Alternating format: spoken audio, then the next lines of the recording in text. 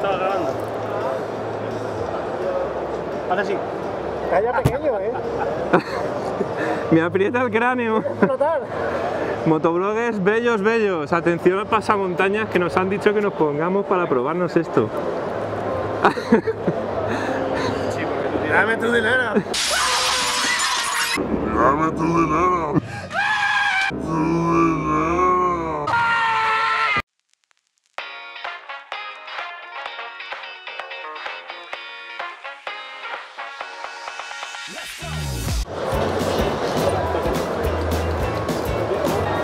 Ducati Multistrada 1200 o 1200S muy muy muy cómoda. La versión 1200S tiene panel completamente a color. Está muy chulo. Pedazo de pantalla.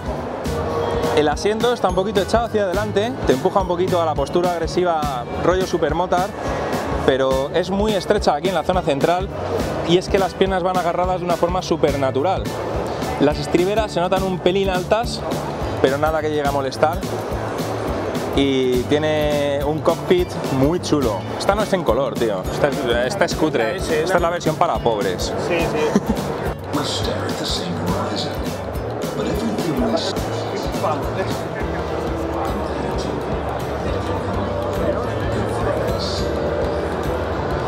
Nueva Ducati Super Sport. En el foro dicen que podría ser la gran revelación de Ducati. Motos deportivas, pero sin ser las radicales que tenemos ahí a nuestra espalda, como la Panigale. Es una Monster a la que le han puesto un carenado, le han puesto unos semimanillares altos y han hecho una moto Sport Turismo. El motor es un 939, tiene 117 caballos, tiene 98 Nm de par, que es una cifra que me parece muy muy interesante. Y pesa cargada 210 kilos, que es un peso bastante razonable. Una moto muy interesante, tiene esa estética de superdeportiva Ducati, pero sin pasarnos en la ergonomía. El precio oficial 14.000 euros. ¿A qué tipo de moto recuerda? A mí, a una CBR 600F. Es una moto muy del estilo. Sport Turismo tirando un poquito más hacia el sport, pero sin pasarse. Todavía siendo cómoda, todavía siendo una moto que se puede utilizar. Si le ponen unas buenas maletas laterales, unos buenos equipajes, puede ser una moto Sport Turismo muy, muy, muy interesante. A pesar de que se llame Super Sport. Yo la veo más como moto de domingo, ruta e incluso viaje, que como moto de, hey, vamos al circuito a tocar rodilla. Yamaha, motos nuevas en la feria. MT-07 Tracer es una moto muy, muy, muy bonita. Ya había salido antes de la feria, es verdad, está a la venta ya. Les ha quedado una moto trail asfáltica súper aparente. Tiene una estética espectacular y es muy ligerita. Cosas curiosas que trae esta, lleva esta especie de guardamanos que llevan aquí los intermitentes integrados. Es bonito, pero lo veo muy frágil. En caso de una caída, esto se parte y va a costar una pasta. La horquilla convencional, con diferencia de la MT-09 que lleva una horquilla invertida. Pero te sientas en ella y la ergonomía es exactamente la misma. Yo me senté pensando que era la MT-09 y luego empecé a mirar y digo, esto es raro, esto no es la MT-09 y era una de estas, una trace. Vamos a sentarnos. Venga, vamos ya.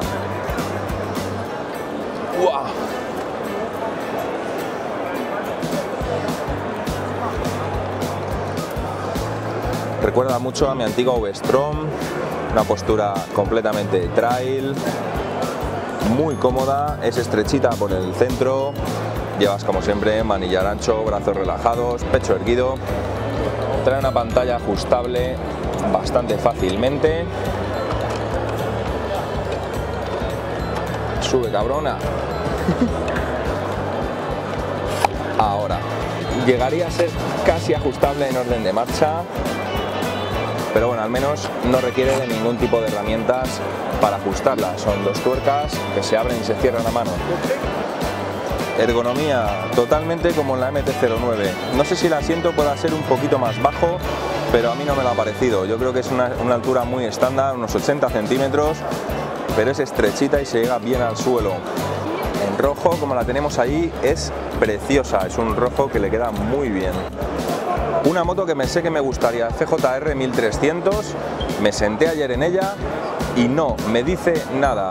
No veo ningún motivo por el que una persona, aunque sea entrada en años, quiera escoger esta moto por encima de, por ejemplo, una MT-09.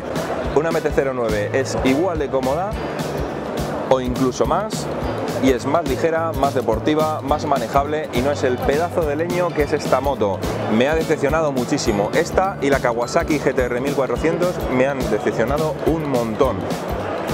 Me las esperaba mucho más manejables.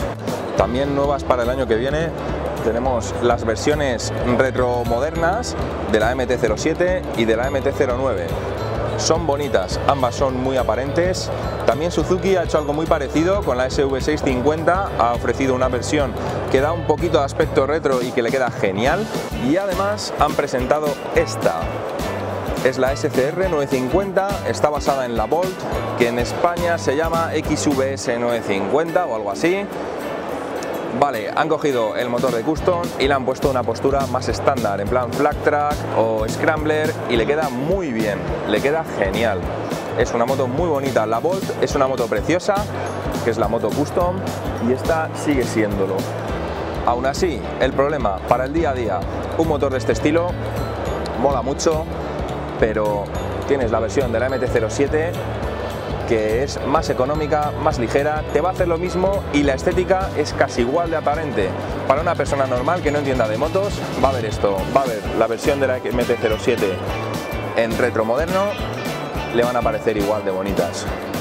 Así que para qué gastarse 10.000 en una de estas cuando te puedes gastar 6.000 en una de las otras.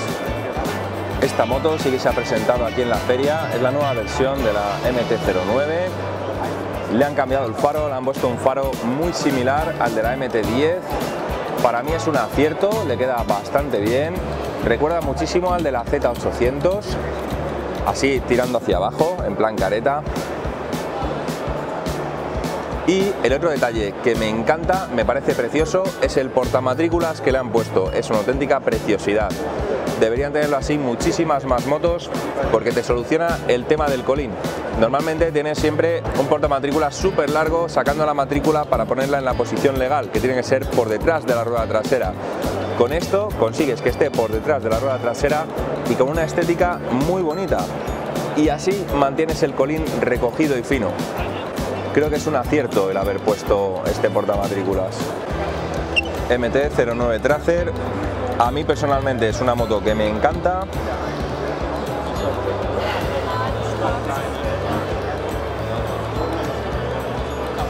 Sí, se hace un poquito más grande que la MT-07, es un poquito más ancha por aquí de depósito, tiene un panel un poco más elaborado, pero al final te sientas en una, te sientas en otra y la postura es prácticamente la misma, postura trail 100% estándar, llegas con los dos pies planos al suelo, el asiento es cómodo, es amplio, la postura de las estriberas no es nada radical, de hecho la pierna está mirando bastante hacia abajo, no está ni a 90 grados. Me sorprende, para la deportividad que tiene esta moto, las estriberas van bastante abajo.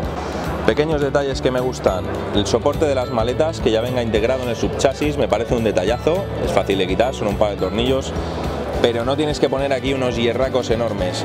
Esto a mí me encanta, es una cosa que cualquier moto con pretensiones viajeras debería traer de serie.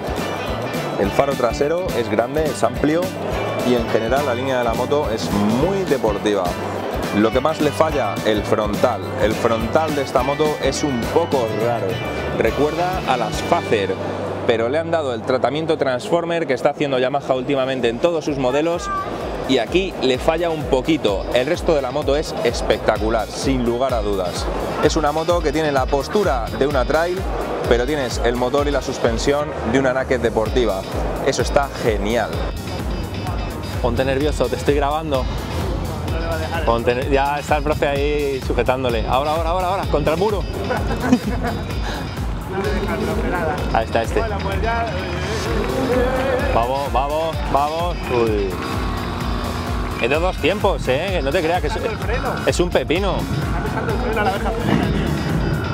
Ves que ha llegado, ha dado gas y ha hecho y ha volcado. Y se ha quedado tumbado en el suelo llorando el pobre niño. no la arrastra. ¿Qué haces robándole la moto al niño? ¿No te da vergüenza?